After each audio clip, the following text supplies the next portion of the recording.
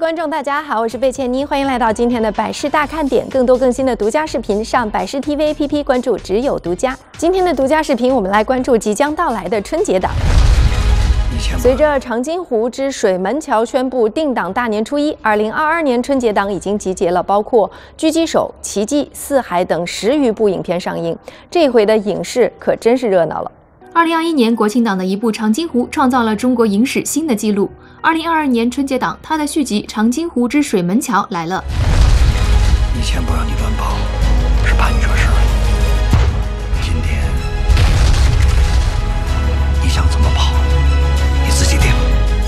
长津湖之水门桥维持了长津湖的原班人马。从预告片来看，无论是场景还是叙事风格，都与长津湖别无二致。所以，能否延续长津湖的辉煌，值得期待一下。我的。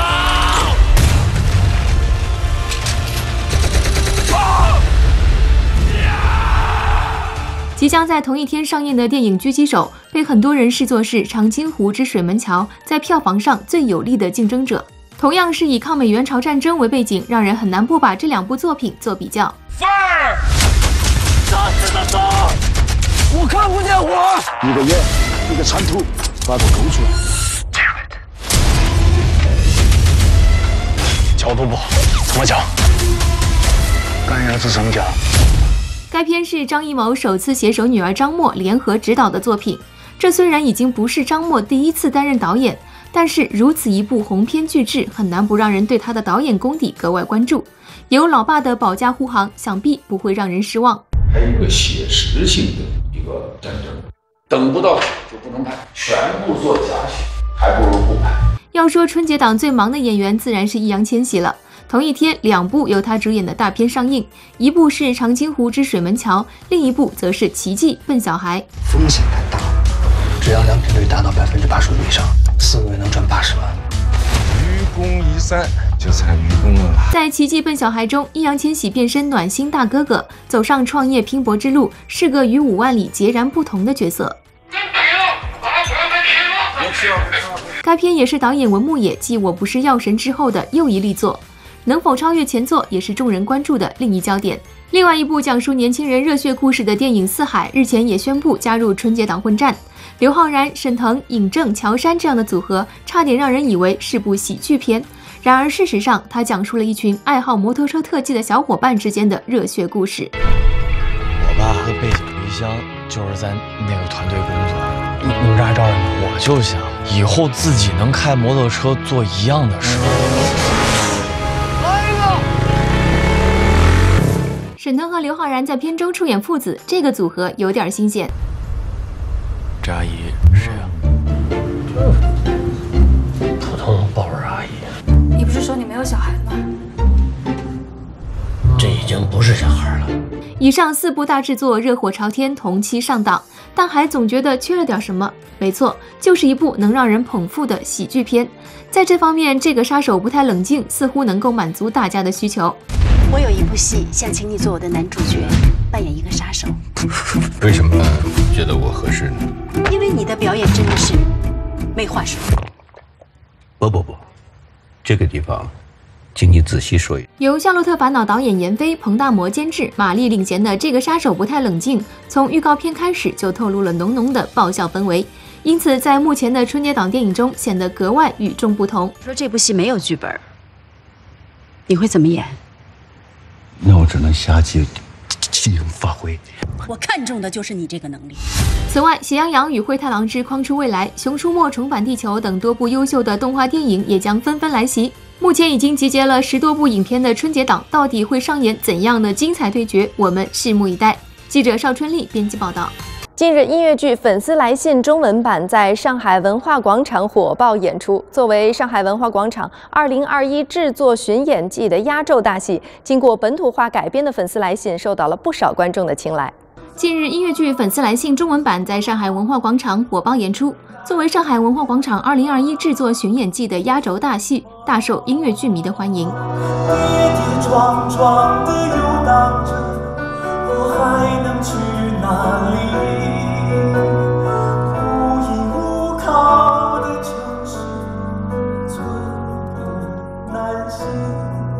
音乐剧《粉丝来信》改编自韩国同名音乐剧，自2016年首演以来受到了业内外的好评，因此该作品成为了上海文化广场精心挑选并经过反复打磨后推出的重点剧目。在此次2021年末演出季上，以本土化改编的全新面貌上演，非常的被打动啊！因为它的首先音乐非常好，然后它这样的一个呃非常文人气质的一个戏当中有很多可以共情的部分，我。在看这部戏的时候，完全没有觉得有有国别的这个差异啊，这这个当中人性的这种表达和人物人物的关系和情感的这样一种，呃，这个这个互动，其实非常共通。中文版《粉丝来信》在原版的基础上，对时代环境、人物角色、舞台视觉表达等诸多方面进行了本土化的调整与改编，以适配中国观众对作品的接受度与期待值。我相信他小剧场的时候已经做得非常的精致了，所以我们要把它处理成大剧场的话，有很多的调度啊，包括很多舞台上面的一些动作，我们是需要去重新构建它的。在剧情方面，中文版《粉丝来信》的故事将背景改到了中国文学与出版的重镇上海，描绘了上世纪四十年代的文人世界。虽然背景和人物有所改动，但是原版主人公之间那个感人至深的情感故事依然在上演着。一个温弱的人，一个不是那么自信的人，怎么在极端的时候去大胆的表达自己的想法？这个是我作为我本人要去学习的内容。在舞台上怎么做才是真实的，才是自然的？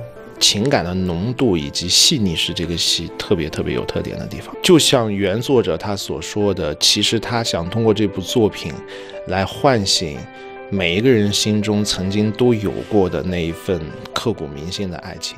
音乐剧《粉丝来信》在上海文化广场完成首站演出之后，将前往北京、南京、深圳等地，开启首轮全国巡演之旅，持续输出贴合时代背景与当下音乐剧市场的表达，传递文本深处的精神共鸣。我们持续的在做，呃，音乐剧的这个中文版，包括我们的原创孵化，其实就是希望在音乐剧的内容层面上，能够持续的推进。然后把就是中国人演戏给中国人看啊，就这样一个业态能够做一些丰富啊。那么借助文化广场这样一个平台，呃，来持续的输出。记者邵春丽上海采访报道。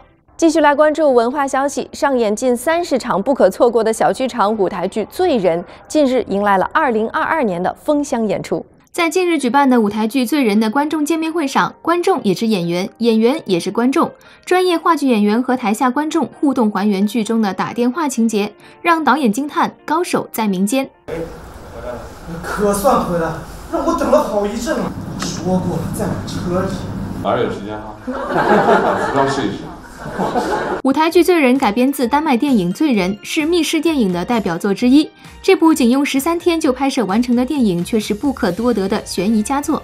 导演鲁伊莎在舞台版的创作过程中，没有局限于影版的独角戏模式，反而将电影中存在于电话和想象的重要情节进行碎片化展示。方便观众更快进入剧情。嗯嗯，我觉得最大的亮点就是我们是封箱演出，是最后一轮就没得看了。最后，嗯，然后还有亮点就是我们其实因为有演了四轮，我们前三轮其实是有不同的卡司的，然后这一轮其实是把前三轮的卡司都混合了一下，然后有有一些老演员，有些新演员，然后这个配的新的配合其实有新的火花。演员许胜男认为，主角阿斯特是一个相信直觉并且非常主观的人。在排练过程中，他并没有过早将这个角色限定入一个风格框架中，而是希望在排练磨合过程中，自然形成一个属于阿斯特的独特表演风格，放大角色的性格特征。我们只能把整个故事会讲得更加的清楚。嗯，这个故事要需要讲清楚，而且大家。很多现在的话剧观众也知道电影出来了，嗯，有很多又去看了电影，嗯，然后也有可能又去看了电影，他又返回到剧场来看戏，所以故事清楚是最重要的，尤其是对于这样一个戏，对吧？嗯。记者陈湘云上海采访报道。What's the most important thing in English？我觉得是语法。等语。写作文。对对对，这些都是在我们学英文的初期特别。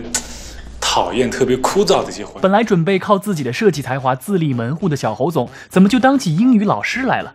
原来，自从他与父亲闹翻后，不论是老客户还是新朋友，都通通与他保持距离，不愿意和他合作。没有订单，公司也无法运转。当时，为了支持他毅然加入队伍里的五十一和好友海星，也没有了经济来源。为了维持大家的生计，小侯总迫不得已找了份英文代课老师的兼职。多亏之前留学的经历，小侯总上起英语课倒还有模有样。五十一在边上听得入迷，还夸他不当老师真的可惜了。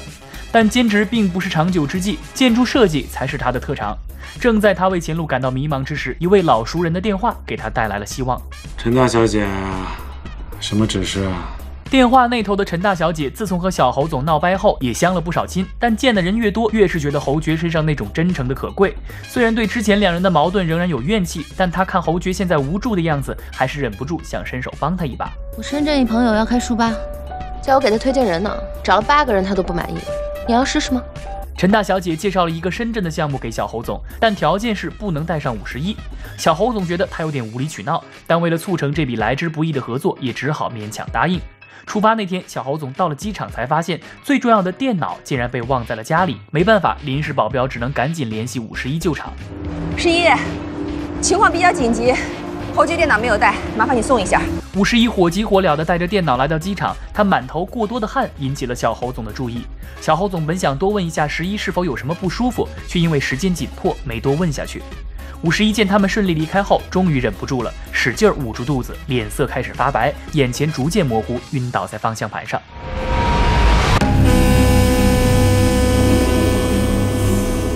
在深圳，小侯总用自己独特的设计理念征服了书吧老板。自立后的第一张订单近在眼前，他第一时间便是想和五十一分享这个喜讯。可是电话那边一直没人接听。临时保镖见合作案也差不多谈成了，才跟他说了实话：十一住院了。啊！急性阑尾炎，手术很顺利，别担心。小侯总大吃一惊，心里满是愧疚，马上站起来往外走，想要立刻马上回到五十一身边。这时，晨晨和书吧老板也走了出来，商量着这合同要怎么签。结果小侯总只是跟他们解释了两句，合同也不签了，一秒也不愿多待，就要转身离开。侯爵，你太过分了，你简直烂泥扶不上墙！赶到医院的小侯总看到病床上的五十一，心疼不已，但五十一却在为小侯总没有最后签约而担忧。小侯总可没想这么多，他一想到自己心爱的女孩子是为了自己才遭了这么多罪，就更加内疚起来，一步也不愿意离开五十一。眼看着两个年轻人关系越来越亲密，五十一的妈妈却在此时给他们泼了一盆冷水。我看得出来，你对十一是有感情的，对不对？既然有感情，就应该为对方设身处地的考虑，而不是